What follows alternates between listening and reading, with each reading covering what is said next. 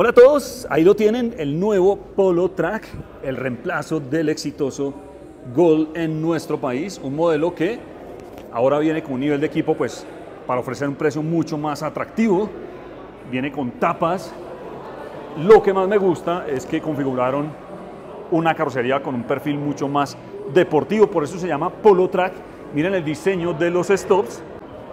Este auto pues viene con motor de 1.6 litros, 108 caballos de potencia, acoplado a una caja mecánica de 5 velocidades. Y como les decía, pues con un nivel de equipo, con la posibilidad pues, de ofrecer un precio muy atractivo en nuestro país. El precio de lanzamiento es de 64 millones 990 mil pesos y ya está disponible en todas las vitrinas de Volkswagen en Colombia. ¿Qué les parece?